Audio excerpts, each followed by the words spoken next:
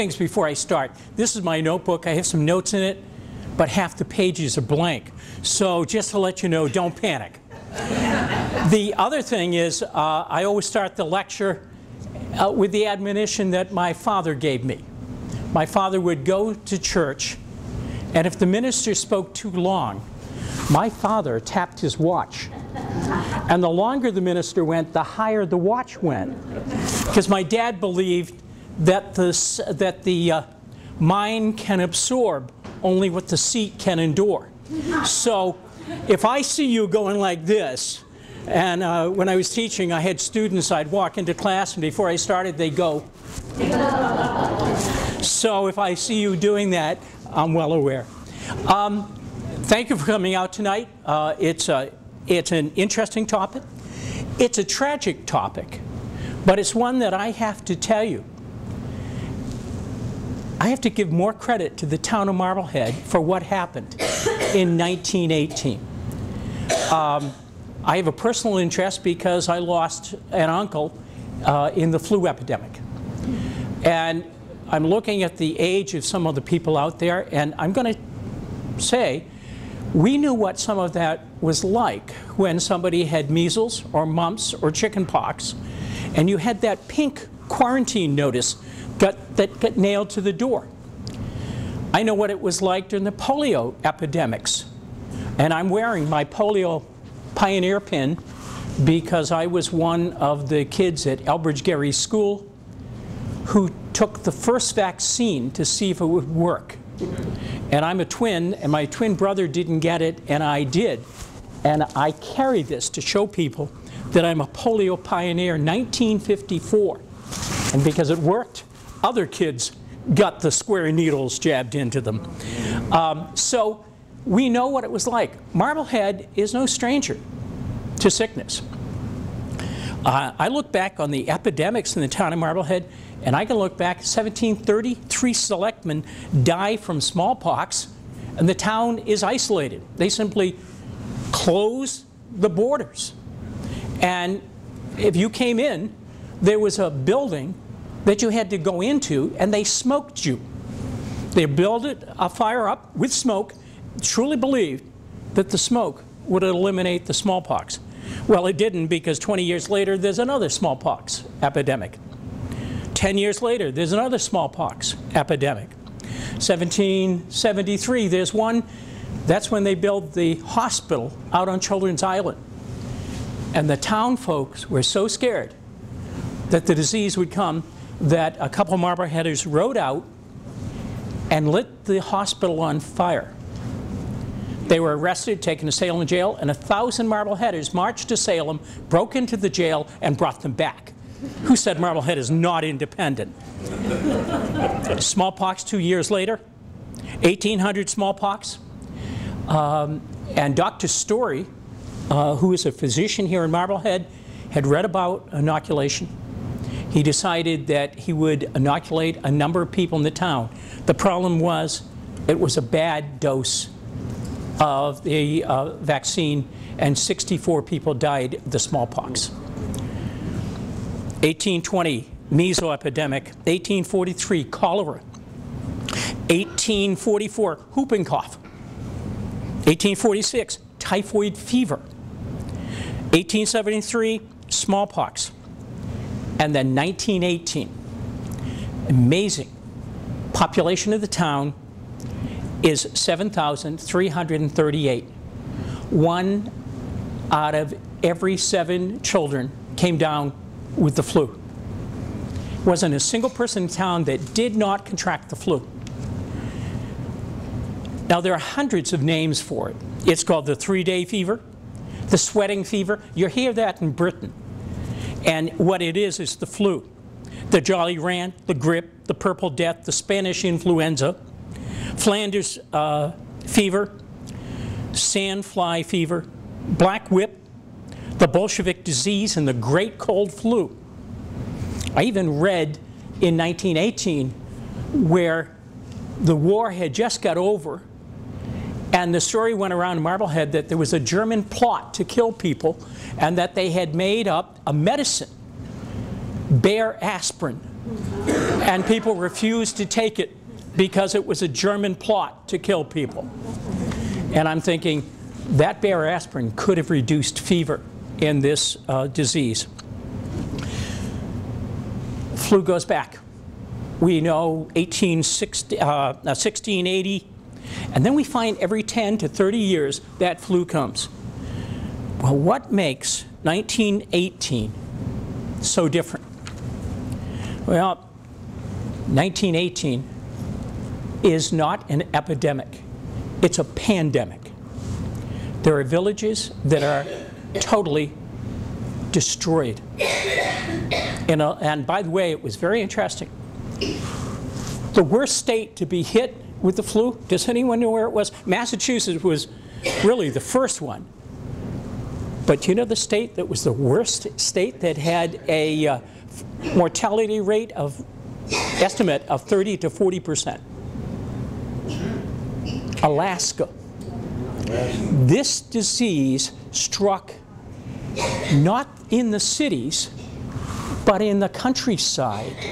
It struck in the smaller towns because the immunity in the cities was higher because the hygiene was poor. And it was amazing that as I read this, and this is one of the first diseases that strikes the healthy, not the sick. Pregnant women had a better chance of getting the flu and dying from it. The age is 30, anywhere from 18 to 33. That's the victim. Um, and what was it like? Pain in the eyes, ears, neck, spine, legs, fever, chills, three days. And either you got better or you got pneumonia and you were dead in two days, five days. First case of influenza, Boston, Massachusetts. Very quiet. Although it had been in Europe, it takes place at the Commonwealth Pier, the 7,000 sailors that have come back from World War I, and they're all crowded into the barracks in Boston. August 29th, 1918. You're going to hear me go by days, and it's only going to be a two-month span. Eight cases on August 28th in Boston. Chelsea Naval Hospital the same day reports 58 cases, all military. The next day, 81 more cases. The next day, 106 more cases. On September 3rd, 1918, the first civilian gets the flu. And where had he been? At the Red Sox game, World Series, against the Chicago Cubs. And as they looked at the people who went to that game, they discovered five of the people that were there died. They were the major carriers of that flu. Nobody from Marblehead has the flu yet. This is what Marblehead was like 7,000 people. Board of Health, names that are going to be significant. William Clothy is the chairman. Dr. Franklin Ireson. Any of you remember Dr. Ireson in the town of Marblehead? He, he served on the board, and I have to tell you, he's one of the heroes of the story. And then Horace Sweetland. There are three undertakers in town. They're going to be significant. George Nichols up on Pleasant Street, Richard Rockert on Sewell Street, and William O'Brien on Atlantic Avenue. The doctors in town, Dr. Herbert Hill, he's off military service. By the way, of 140,000 doctors in the United States, 50,000 of them are in the military and in Europe. So it hits the time when one third of the doctors are out of the country. Dr. Samuel Eveleth, called up for military service, sent to Georgia. Dr. Ireson, Dr. Prouty, Dr. Dunham, and Dr. Pearlie Sanborn. That's it for, Mar for Marblehead. School population, 1,300 kids out of 7,000. September 6th, everything's very quiet. They have a big event, Liberty Day, Lafayette Day events. People turn out. September 10th, a Tuesday. First death, William A. Hammond, a fireman from Marblehead, died, and Dr. Ireson says it's ptomaine poisoning from eating a turkey dinner. If only we knew. The very next day, September 13th, a Friday, the Navy now reports 163 more cases. Fort Devens reports 50,000 people present, 12,000 have pneumonia. They locked down Fort Devens. And by the time this finishes, 20,000 soldiers will have died in those military forts. And it's interesting how they described it. They called them mahogany death. What happened was all of a sudden they would get a mahogany coloring around their cheeks. It would drain and then into the body, and within two hours they were dead. Think about what that was like in 1918.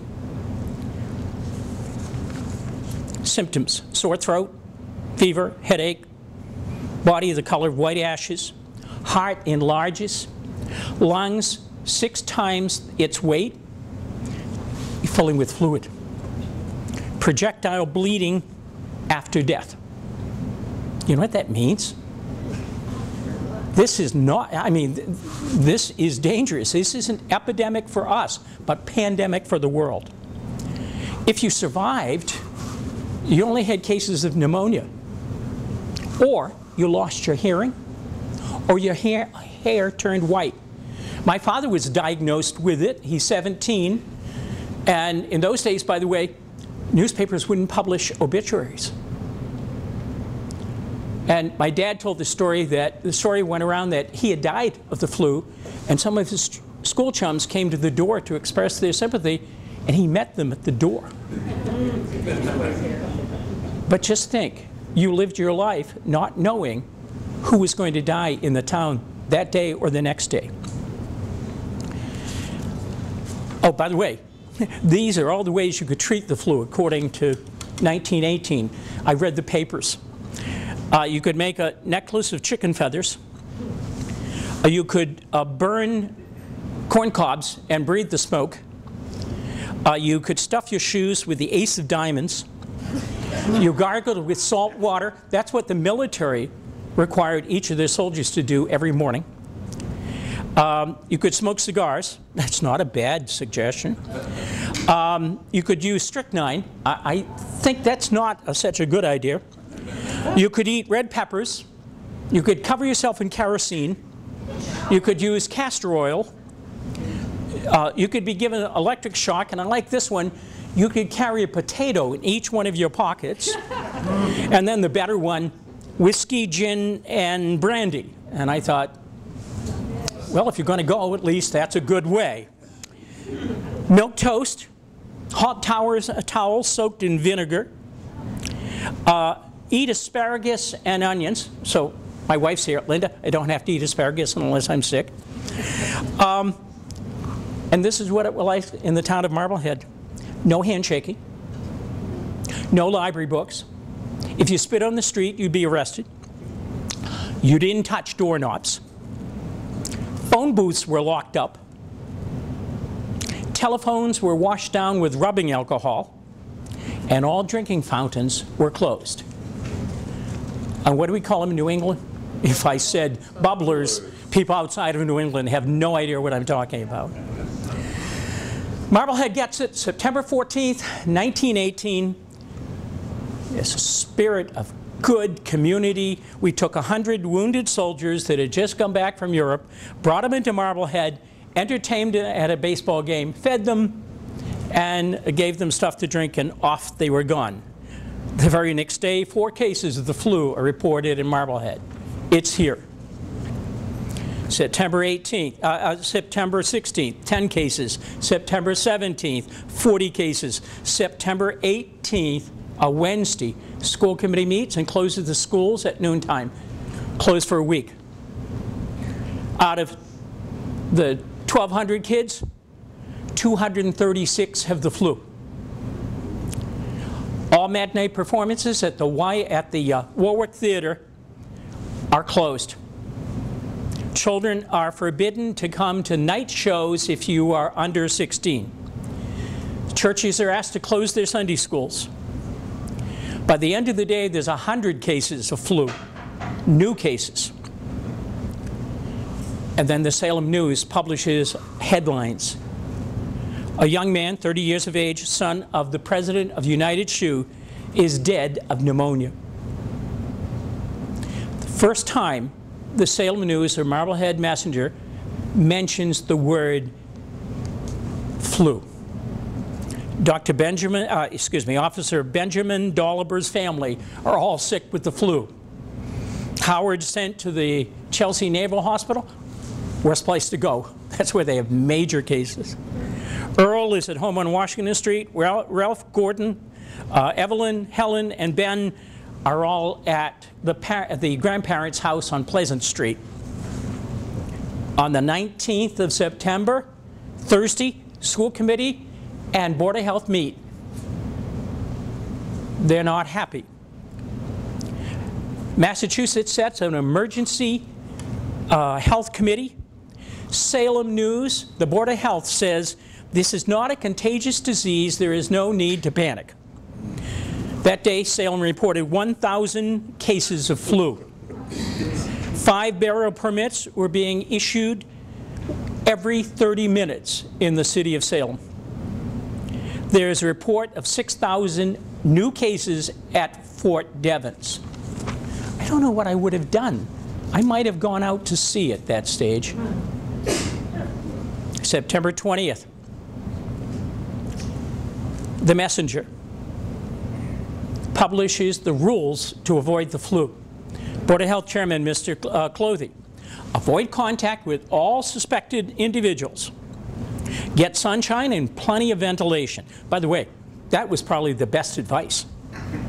Get good nourishing food and keep personal hygiene. Churches are still meeting. But they report the drive for clothing for the children in Belgium has been postponed for two weeks. The next day, the first death in Marblehead is reported. It's not in our paper because they had taken him to Salem Hospital where he died. So Salem gets credit, but not Marblehead. Salem is so short of telephone operators, they are hiring people off the street. That day, they reported 1,500 new cases of flu in the city of Salem.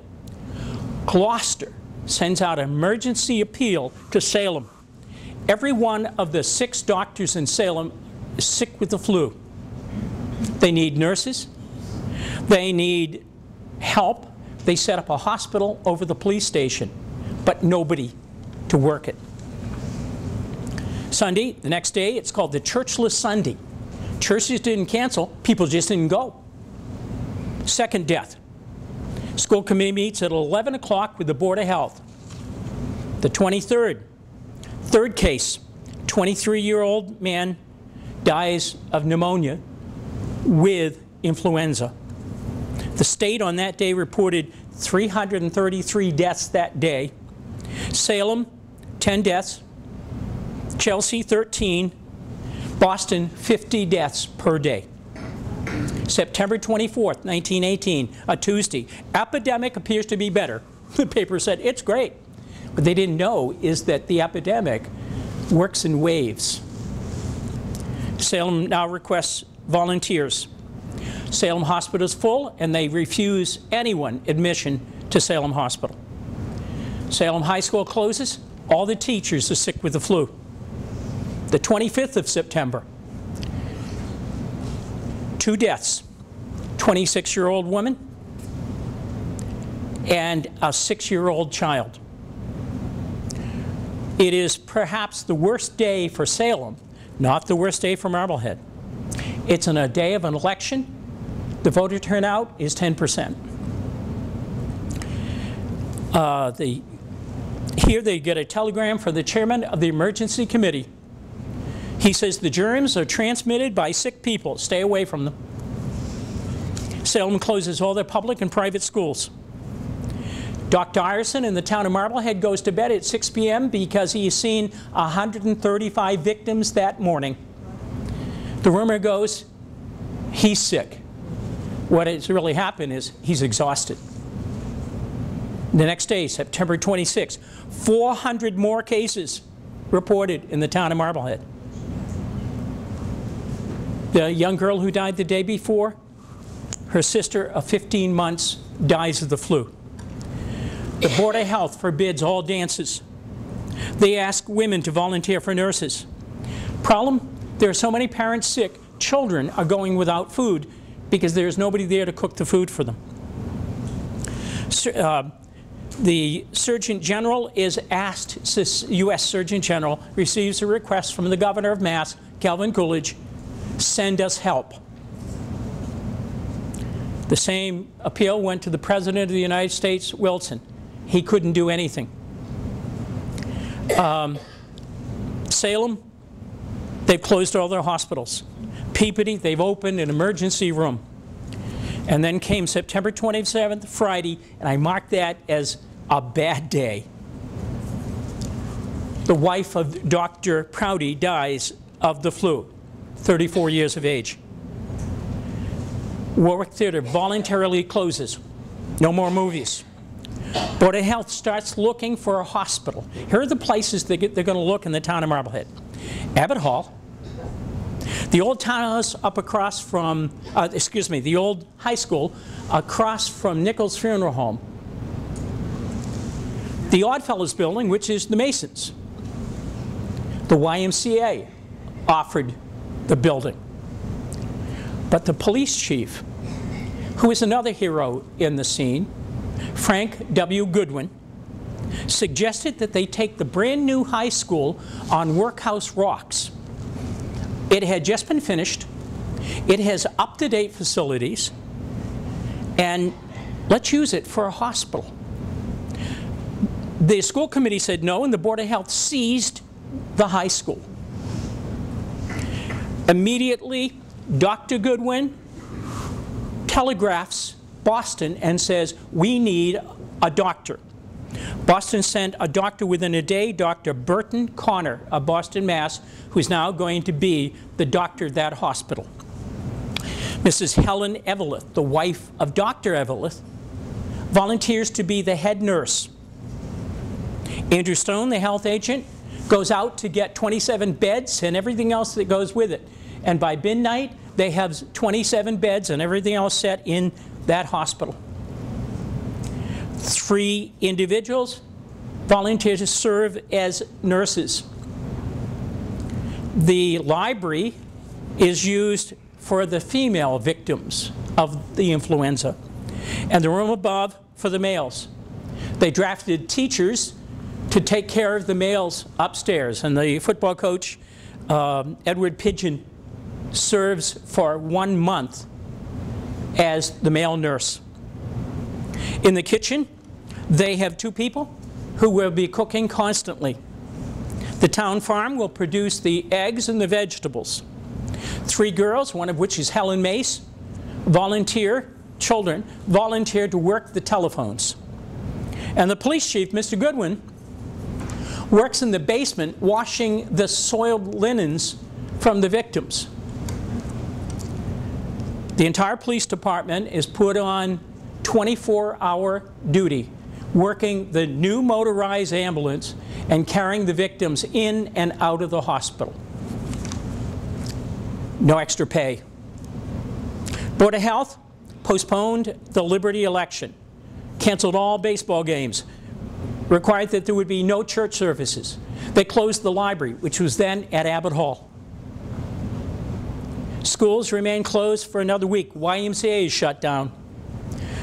The cooperative bank cancels all of their meetings. No band concerts, no public gatherings.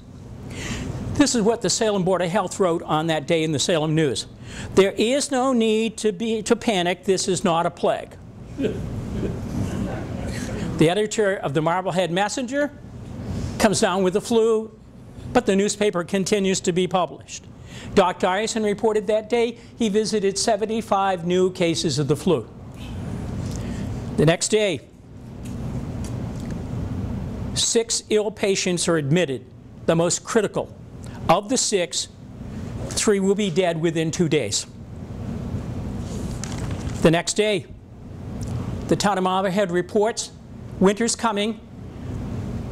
The workers refuse to deliver coal to the houses of the ill people. Two more individuals admitted to the hospital. One of them, I, I feel so badly when I read this, Elmer M. Brown. He went to Salem Hospital. Salem Hospital met up in the door and told him, we're full, try and find better treatment somewhere. He found a shack on Besson's Beach and he crawled into the shack to die. The police find him. They bring him to the hospital and he's admitted 12:30 p.m. and he's dead the next day. September 30th, a Monday, three more people admitted. They will end up dying in that hospital. September, 13 dead in Marblehead. And mind you, that's only midway September, and the disease hasn't reached its high point yet. Soda fountains are closed. October 1st, 1918, one-year-old child dies of the flu. Hospital admits two more. Of the two, one will die. Marblehead undertakers are running out of coffins. They're asked to come to Salem because the Salem undertakers can't keep up with the dead. So George Nichols and William O'Brien now spend all their time in Salem. Topsfield Fair is canceled. The state indicates 40,000 cases as of October 1st, not counting the military. And it's now moving to the western part of the state. Um, the Sisters of Charity, who owned Loring Villa, that Salem State extension off of Loring Avenue, volunteers their building to take 60 to 70 patients in Salem. The Salem Board of Health finally accepts their help. Two more people admitted to the hospital. 127 will die the next day. 132 will die the next day. High school teacher sick with influenza, he dies two days later. Salem Hospital opens the Salem Villa Emergency Hospital. Icemen are now refusing to go to homes in Salem and in Marblehead because of the flu. October 3rd, four people admitted, four people die. Then comes something that I thought was interesting. Federal government can't help, state government can't help, but the YMCA said, look, we can cook food if they can come and get it. So the Red Cross said, we will pick up the cost of the food. So they uh, cooked soup, served cornbread and custard, 16 cents a quart. And if you couldn't afford it, Red Cross would underrate the cost. Finally reached a stage where families couldn't come to get the food. The police department ended up delivering the food. Within one week, that canteen is overwhelmed by requests. So a Mrs. Parker Kimball on Washington Street sets it up in her house and continues serving the food to families that cannot cook. October 4th, first time ever Massachusetts physicians are required to report the cause of death as well as all cases of the flu. So from that date on, we can start to see the numbers. Boston finally closes all its schools. Hospital admits one more patient and discharges one. Court system in Essex County closes. All parades cancel. Two of the nurses drive the doctors around town so that they can find uh, individuals that are sick with the flu and can't get out. Surgeon General recommends that all troops coming back from Europe be quarantined. Wilson refuses to follow that recommendation, and more troop ships are brought into Ma Boston, Massachusetts. October 5th, Saturday, one patient admitted, two patients die, one patient discharged. October 6th, the Sunday, one person dies, one person is admitted. The 7th of October, one person dies, one person admitted. By the way, age, two years. Local nurse, Marjorie Grant, exhausted. She's replaced by a local nurse. October the 8th, Tuesday, no public funerals in the town of Marblehead. Police that have been carrying victims now begin to come out in the flu. Wilson now orders, five days later, all troop ships to remain where they are. Letters are sent to teachers by the school committee. We want you to come to the high school and serve as nurses. 14 of them show.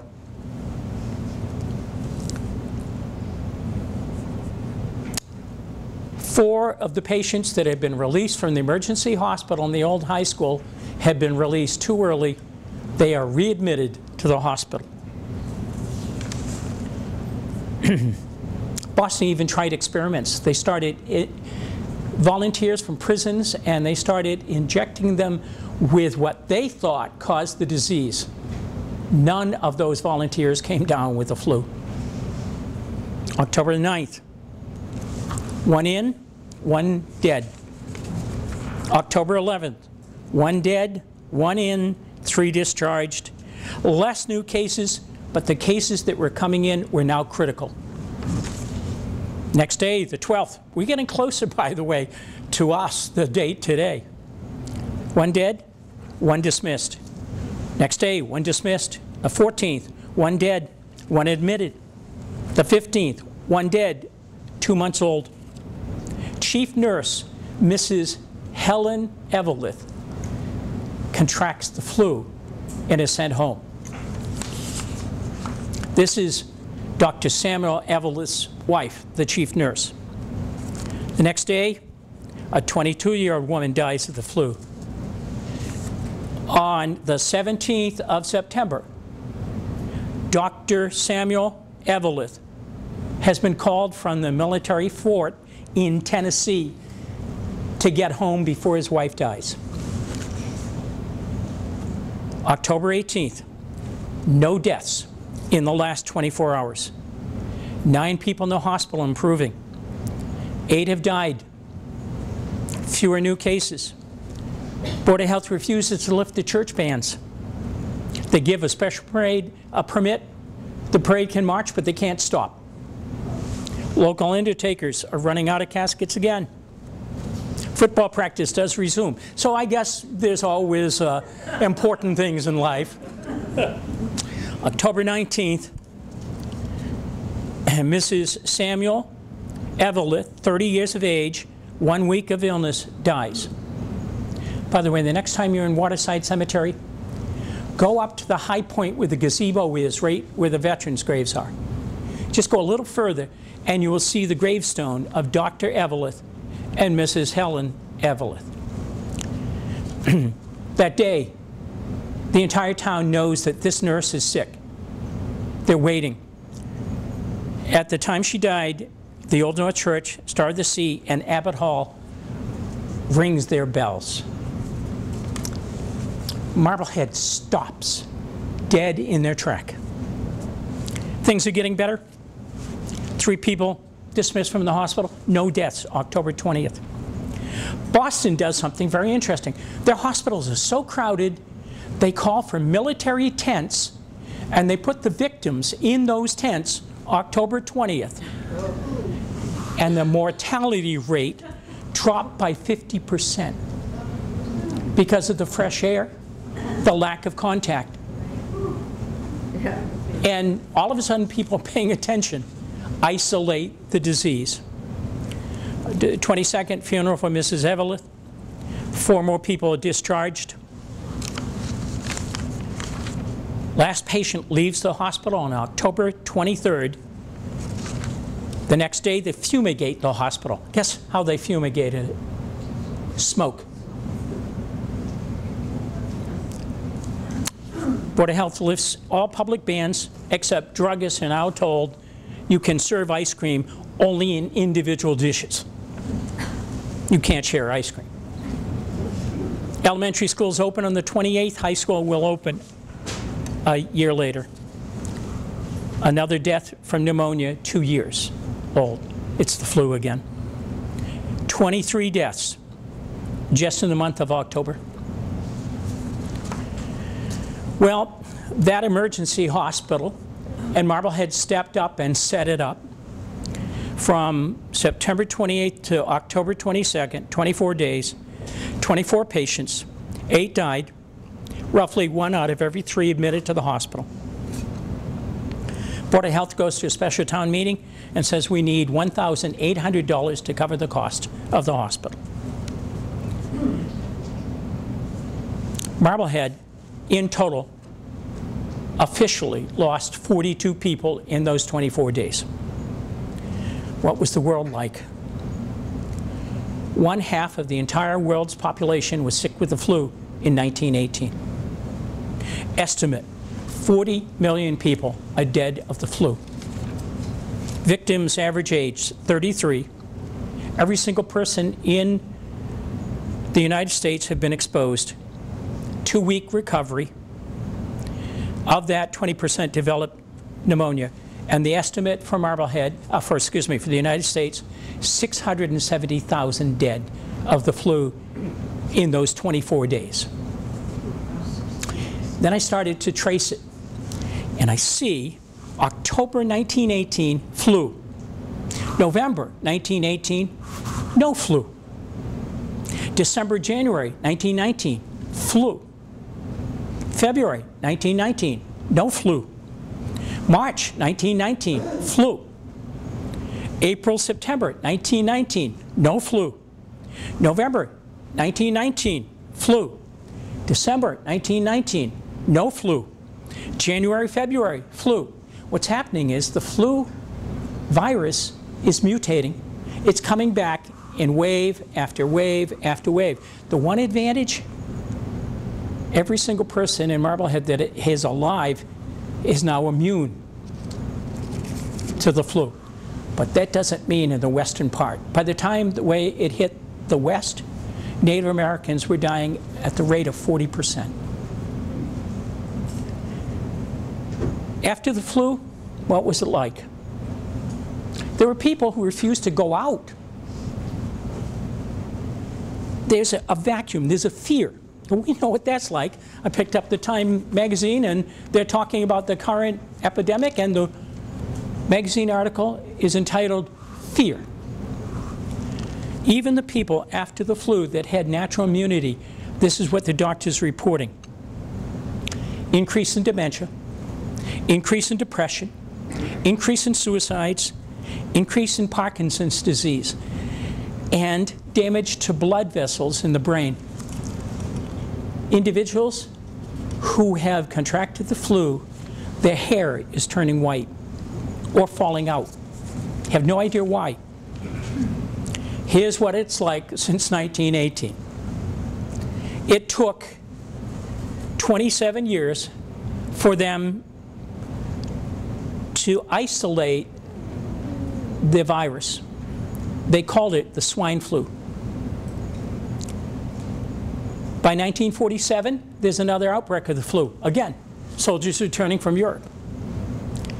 In 1950, there's a Swedish doctor who says, let's find out about it. Let's go to the permafrost, dig up some of the victims, see if we can find a virus. 1957, uh, excuse me, 1951, there's a secret expedition to Alaska to dig up the victims. No result. 1957, now we're getting into our age. Asian flu, H2N2, 70,000 Americans died. 1968, Hong Kong flu, 28,000 Americans died. 1970, outbreak. Then came, and notice, we're naming it after everybody else, the Russian flu. In 1996, Dr. Amy Kraft, who was more of a historian than a doctor, found in the Army, uh, in the Air Force Institute of Pathology, a slide taken from part of a lung of a soldier who died of the flu in 1918. The very next year, they went back to the permafrost. They found a female victim. They were able to take the virus that she died from and compare it with the slide. They now have isolated the flu of 1918. And by the way, all flus are the grandchildren of that 1918 epidemic. Then 1997, you remember it? The bird flu, you know, and we called it the Hong Kong flu. 2000, mild outbreak, and then 2003, we see something that is related to the flu, but we don't call it the flu. We call it SARS. Severe acute respiratory syndrome, H7N7. Then we have ARDS, acute respiratory disease syndrome. And in 2014, what would happen if we had a pandemic equal to 1918? Rough estimate, worldwide, 73 to 100 million people would die. In the United States, conservative estimate, 400,000 would die. That's with antibody, uh, antibiotics. That's with um, Tamiflu, if taken within 48 hours. Worldwide, rough estimate of 100 million would die. So where are we? well, we're different than 1918. We have a Center for Disease Control. We have physicians that are now trained. We have emergency hospitals who respond. What do we say about Marblehead in 1918? I'm going to tell you, I'm proud of what I have found. First of all, it's a proactive community. They didn't wait for the state. They didn't wait for the federal government. They couldn't help them anyways. They did a community effort. They opened an emergency hospital. They asked for volunteers.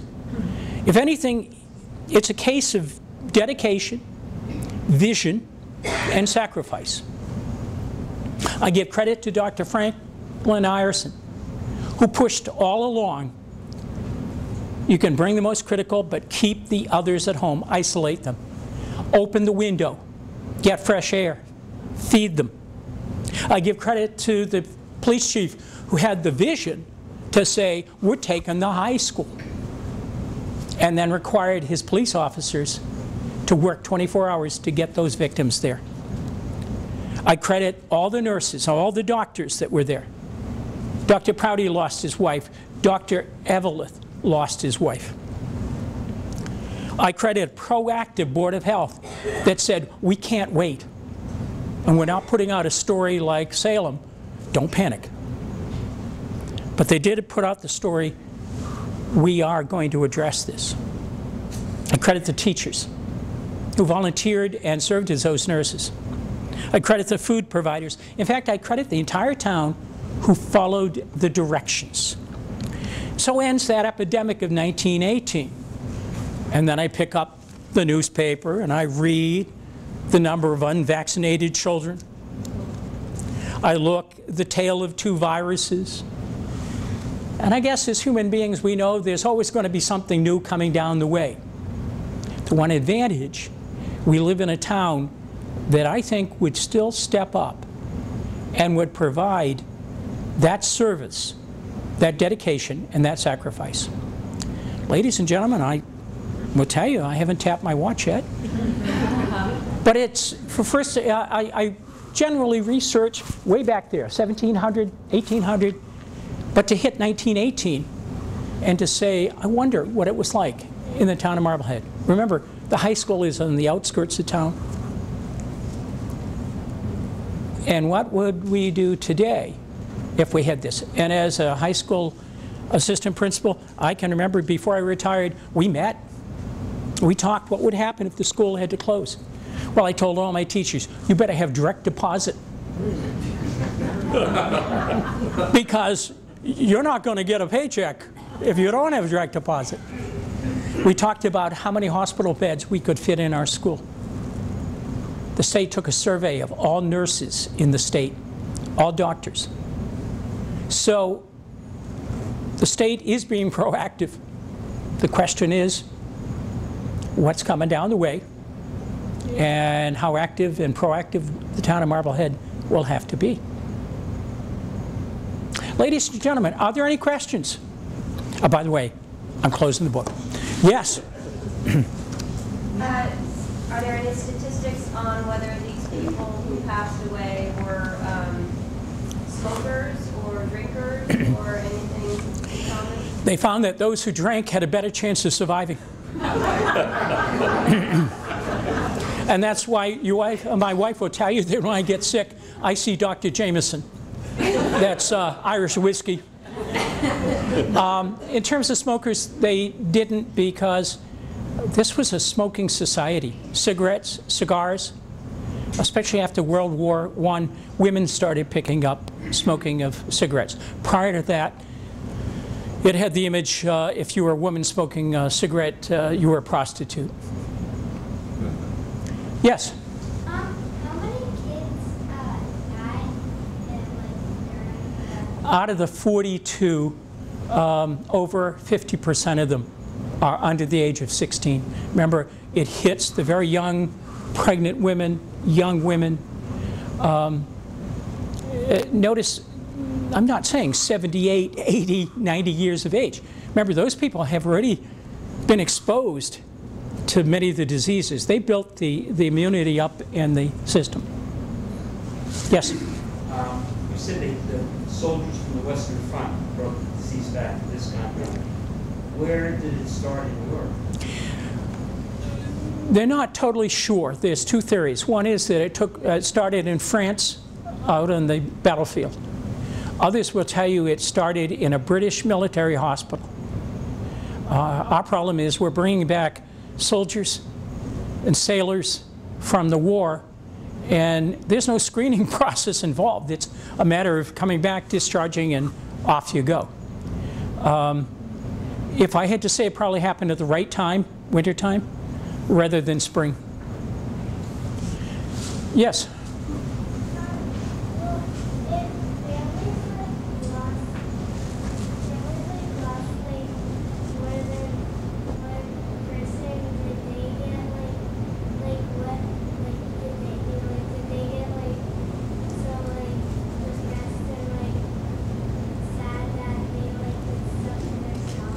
Can someone help me? The fans are going and I can't hear. Um, what happened to like, like if families like lost more than one like person in their family, did they like get so like depressed that they did stuff to themselves or like what happened? Okay, somebody help me with that question. She's, she's wondering what would happen to families if children lost parent. This is a, this, thank you. That's an excellent question. This is a society that has extended family. Not like today, that you had grandparents around, you had parents who had uncles and aunts that took care of those children. Today would be tougher because those families we have today, those relatives are far away from the primary family. So if you looked at it, the culture is probably a better place for family to survive. And they went back to their schools, by the way. Yes? In the hospitals, did they separate the children from the adults? Believe it or not, there were no children admitted to the emergency hospitals. The family doctors in Marblehead went to your house. Uh, this is a, a, a quality that I remember, that the doctor would come to your house and would treat you at your house. And whenever the doctor came, I always felt better because this doctor had a golden retriever. And you'd be sick, and the golden retriever would be up in the bedroom before the doctor would. And they would come, and out of that magic bag would come the medicine. And I truly think there was something about comfort. Uh, just recently, uh, one of my friends said to me, You know, Don, I, I've watched you treat people. I ran summer camps, and so I would have to be the nurse sometimes. And that friend said, You know, I watched you and I learned something. And he said, I became an EMT. He said, I watched you. You treated the person physically, you bandaged them up, but you spent the rest of the time talking to them. And he said, I learned you treat the patient, but you treat the wound first and then the patient second. That's what these family doctors were like in Marblehead. That's why you got to give them credit. And it's a shame because you notice, number of doctors to the individuals, one doctor, and that number has grown and grown and grown. Yes? Um, did the animals carry the flu? Did the animals carry it? Excellent. With the flu, you have it being carried to swine, pigs, and then from pigs to humans. There has to be a host to let it mutate. That's why when they said swine flu, um, they were truly understanding how that was being carried. Yeah. Jonas? Any particular reason why it spread so fast? I think, first of all, you're in World War I in which you have sacrifices of food. Uh, there were meatless days, there, you know, wheatless days, and I think the population was exhausted. Second, uh, it hits at a time in which it comes into the cities, but works out to the countryside that doesn't have the immunity, doesn't have the flu shots. I mean, I got mine tonight. I hope you did. And today, at least the proactive component to it, that you might get a little bit on the sick side, but you'd be worse if you didn't have it. Yes? Did like the people who own the boats, like, um, would they, if they didn't have the flu, would they go out to sea? All their boats? You know, that's interesting. Not one fisherman in the records has contracted the flu, but they're out in the fresh air. Uh, they're eating protein. I think that's part of the answer, but I'm not a medical doctor. But it is interesting to find in the town of Marblehead that you don't have a single fisherman getting sick. Anybody else?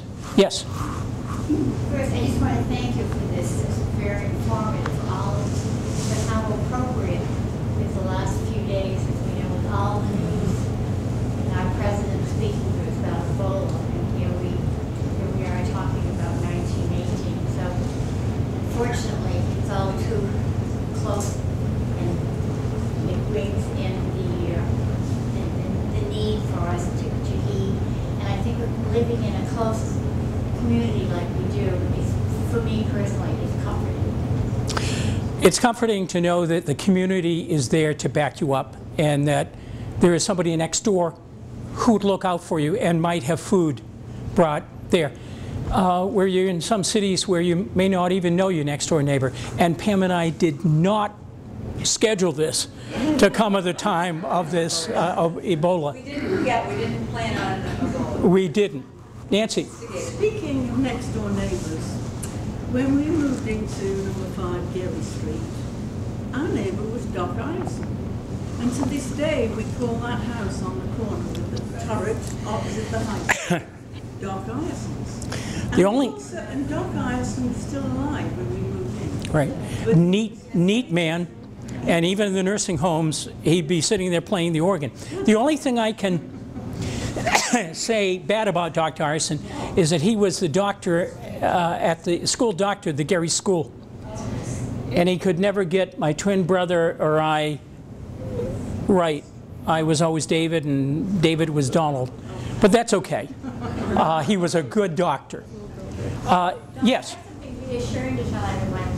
At the old Marblehead High School, which is presently the middle school where I was the principal, one of the days, Jason Gilliland gave me a tour of the old cellar that's in there. And it has six hundred cots and water and food and generators as the place that we could go. Not that many people realize that, but they go through every year, and they replace the water and change the amounts of everything. So that old school building still has a life underneath. Yep. No Yep. windows. And, and uh, Masconomet, where I was, there were drums of water and beds. And it was used in the snowstorm in 1970. and I never get it right. I do remember that year, it was February. Uh, we had seven days of school. Two of those were paydays.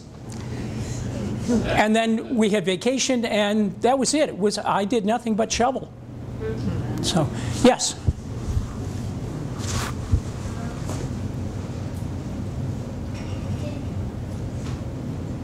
Will jobs shut down? Factories, factories shut down in Marblehead. Mail uh, U.S. mail. The post office department still delivered the mail. Um, if you saw the picture that advertised this talk, they wore surgical masks. So, ladies and gentlemen, thank you. Thank you.